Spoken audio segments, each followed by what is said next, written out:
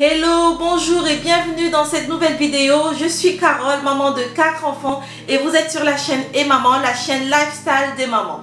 Aujourd'hui, on va parler de comment être une maman organisée. Vous savez que moi, j'aime être une maman organisée, je le dis tout le temps. Et d'ailleurs, je vous montre plein de vidéos sur comment je fais le ménage, sur ma manière de m'organiser, de ranger les placards, de repasser pour que toute chose soit à sa place. C'est important. Parce que organiser, c'est ce qui va vous permettre d'éviter le stress. C'est ce qui va vous permettre de garder le contrôle sur votre environnement, sur votre vie et de ne pas être débordé. Donc, c'est important d'être une maman organisée. Parce que la première cause de stress, c'est le désordre. La première cause euh, de, de, de trouble, la première chose qui va venir euh, apporter son grain de sel dans votre vie et gâcher votre bonheur, c'est le désordre, c'est la mal-organisation, la mauvaise organisation. Donc, c'est important. C'est pour ça que j'insiste là-dessus. Être organisé, c'est ce qui va vous permettre de rester, de demeurer heureuse et de, de prendre le contrôle sur votre environnement. Donc c'est ce qu'on va voir dans cette vidéo et j'espère que vous avez une bonne tasse de thé pour suivre tout ça. Déjà, vous devez savoir que être organisé ou l'organisation, c'est lié à plusieurs choses. Ça peut être lié à votre temps, être organisé dans votre temps pour ne plus perdre du temps, pour gagner du temps, pour bien gérer votre temps. Ça peut être lié à vos sentiments pour éviter le stress. Ça peut être lié à tout ce qu'il y a dans votre maison pour que toute chose soit bien rangée. Donc l'organisation peut se faire à différents niveaux. Peut-être que vous, vous avez des problèmes organisationnel, dans l'aménagement de votre maison, de votre environnement. Peut-être il y a toujours du désordre. Peut-être pour une autre, ce sera au niveau de votre emploi du temps. Vous avez du mal à gérer votre emploi du temps. Vous êtes désordonné. Vous avez du mal à vous organiser. Peut-être pour une autre personne, c'est au niveau de, de, ses émotions, vous avez du mal à vous contrôler. Donc l'organisation peut être liée à tout ça pour une seule personne ou à différents aspects et domaines de votre vie. Donc c'est important d'identifier déjà chaque domaine. Ceci m'amène à mon premier élément, à ma première astuce pour être une maman organisée, ma première bonne habitude pour que vous soyez dès aujourd'hui une maman organisée, c'est d'identifier les choses ou les domaines qui ont besoin d'être organisés. Comme je l'ai dit tout à l'heure, l'organisation ou la désorganisation peut être liée ou peut venir de différentes choses. Ça peut être du fait de votre emploi du temps que vous avez du mal à clarifier, à suivre, à respecter, à organiser, à comprendre. Ça peut aussi être lié à votre environnement, euh, la cuisine, les placards qui tout est en sans dessous dessous, qui est dans les chambres des enfants, dans la, maison, dans le séjour. Vous ne savez pas retrouver vos affaires, vous ne savez pas les ranger, il y a du désordre partout. Bref, l'organisation peut être liée à différentes choses et il est important de commencer par découvrir où est-ce que vous avez des problèmes, où est-ce que vous avez des lacunes pour pouvoir renverser la tendance. Donc, il faut commencer par là, découvrir l'endroit de votre vie ou de votre maison qui a besoin de changement pour commencer à être organisé. Ça, c'est important. Moi, il y a quelques temps encore, mes placards étaient désorganisés. Il n'y avait pas d'ordre dans mes placards. Donc, j'ai identifié le fait que c'était les placards de mes enfants, surtout de mes bébés, qui étaient mal organisés. Vous pouvez voir à quoi ça ressemblait avant. Et j'ai pris des mesures en faisant du repassage, en achetant des boîtes. Bref, j'ai fait une série de choses pour que cela change. Mais c'est parce que j'ai déjà identifié, j'avais déjà identifié d'où venait le mal, ou d'où venait le problème, voilà. Et c'est ça qui m'a permis de prendre des mesures par la suite. Maintenant que vous avez identifié d'où vient le problème, peut-être c'est lié à votre emploi du temps, que vous n'arrivez pas à organiser, autant que vous n'arrivez pas à, contrôler, ou alors à l'aménagement de vos placards, de vos espaces de vie, il faut faire le tri. Il faut faire le tri. Vous n'imaginez pas la tonne de choses superflues que nous gardons dans les maisons en tant que maman. Très souvent, on va tout fourrer dans la cave ou dans le garage.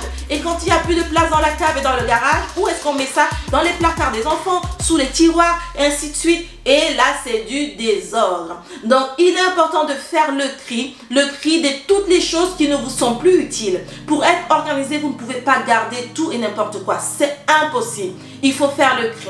Il faut enlever tout ce qui ne vous sert pas en premier, tout ce que vous n'utilisez plus depuis des mois, depuis des années, parce que certainement ces choses-là ne vous servent pas. Il faut prendre la décision simplement de les jeter, de les donner. C'est important. Souvent, on se dit, ah non, je ne vais pas donner. Et si demain, j'en aurais besoin, mais vous n'en avez pas eu besoin pendant un an ou pendant un mois, vous n'en aurez pas besoin demain. Donc, c'est important. Et si vous en avez besoin après, vous en rachèterez. C'est important de savoir vous débarrasser des choses superflues, des choses qui ne vous servent pas au quotidien, mais qui, au contraire, viennent combler le vide dans un coin alors que ce coin a besoin de respirer. Voilà, commencez par faire le cri, mettez tout dans les cartons, dans les poubelles, allez donner ça à Emmaüs, allez vendre ça sur Vinted, allez vendre ça où vous voulez, mais faites le cri et désencombrez votre maison, enlevez tout ce qui n'a pas de place, tout ce qui n'a pas de sens.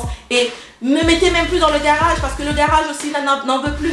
Allez, jetez ça et, et donnez ou vendez ça. Donc c'est important de commencer par vous séparer du superflu. Parce que le superflu, c'est ce qui va vous étouffer. Et faites pareil dans votre emploi du temps. Il y a certainement des activités vous avez qui ne vous servent à rien, qui viennent surcharger votre emploi du temps au lieu de le désengorger. Donc c'est important d'enlever dans votre emploi du temps, je sais pas, moi ce rendez-vous avec une amie alors que ça n'a pas lieu d'être aujourd'hui, vous vous êtes vu il y a deux jours, vous pouvez vous en passer et à la place faites une activité, une chose très importante comme ranger vos papiers parce que ça, depuis longtemps, ça traîne et il y a certainement des, des relances, je sais pas moi, des impôts dans lesquels il faut agir, pour lesquels il faut agir.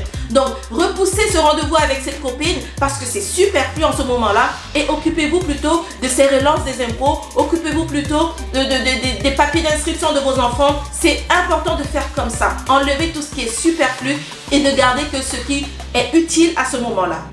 Ma troisième astuce, la troisième chose, la troisième bonne habitude que vous pouvez prendre pour commencer, pour devenir organisé dès aujourd'hui en tant que maman, c'est tout simplement de vous équiper. Alors, vous équipez en quoi? Vous équipez en boîte de rangement, vous équipez en bons meubles, vous équipez en appli, vous équipez en agenda, c'est important. S'agissant du temps par exemple, si vous manquez du temps tout le temps, commencez par vous acheter un agenda, un petit agenda, un notebook même si vous voulez commencer par ça, dans lequel, ou un to-do list, dans lequel vous allez noter chaque jour par heure toutes les choses que vous avez à faire, les choses essentielles. Notez les choses les plus importantes en premier, notez ensuite les choses les moins importantes. Ça va vous permettre de commencer par les choses les plus importantes et de venir faire les choses les moins importantes après. Prenez cette habitude, vous serez organisé, vous n'allez plus perdre votre temps. Ensuite, si vous avez besoin aussi, par exemple, vous pouvez prendre des applications. Il y a des applications qui existent en ligne. N'hésitez pas organisation ou application gain de temps. Vous allez trouver des astuces comme ça, des applis qui vont vous aider à organiser votre temps tout simplement. Maintenant, vous pouvez vous équiper en rangement de boîtes pour vos tiroirs, comme moi j'en ai fait récemment pour les placards de mes enfants, ou aussi pour les placards de la cuisine, les tiroirs de la cuisine, pour mieux ranger vos, céréales. Voilà, ne plus avoir à vous baisser ici, à en verser là. Euh, c'est important, ranger vos vêtements bien pliés dans de bonnes boîtes. Vous mettez des étiquettes pour que vous puissiez trouver chaque chose chaque fois que vous cherchez. Donc équipez-vous pour bien ranger vos affaires. Équipez-vous en meubles. Si vous manquez de meubles dans votre maison, achetez des meubles pour mieux ranger vos affaires dans des meubles. Mais surtout, assurez-vous aussi que dans ces meubles, que ce soit pas un fouillis de toutes ces choses que vous avez mis dedans. Non, rangez chaque chose comme il faut à sa place, c'est important. Et donc, équipez-vous pour faire ça. Ça va vous aider à être organisé. Enfin, ma dernière astuce, la dernière bonne habitude que j'ai à vous donner pour devenir une maman organisée dès aujourd'hui, c'est simplement de prendre de bonnes résolutions. Vous devez à partir de maintenant, chaque maintenant que vous avez fait toutes ces choses qu'on a citées au début, c'est de vous faire la promesse à vous-même que vous allez à partir de maintenant ranger chaque chose à sa place. Dès que vous avez utilisé, je sais pas moi, un cahier, un notebook, pensez à le ranger à l'endroit que vous avez décidé qu'à partir de maintenant, ça restera là. Donc c'est important. Si vous sortez quelque chose d'une boîte, par exemple un vêtement de votre enfant, Faites-vous la promesse de remettre ce vêtement dans la même boîte, au même emplacement. Ne mettez pas d'abord à côté en disant je pose là une seconde et je viens le chercher tout à l'heure. Non, le fait de poser une seconde, ça restera toute une vie. Donc c'est important. Donnez-vous la peine de vous déplacer pour ranger cette chose à l'endroit où, que vous l'avez, où vous l'avez assigné. Et c'est comme ça que vous allez rester ordonné et rangé. C'est un secret, une astuce que j'ai pris l'habitude de faire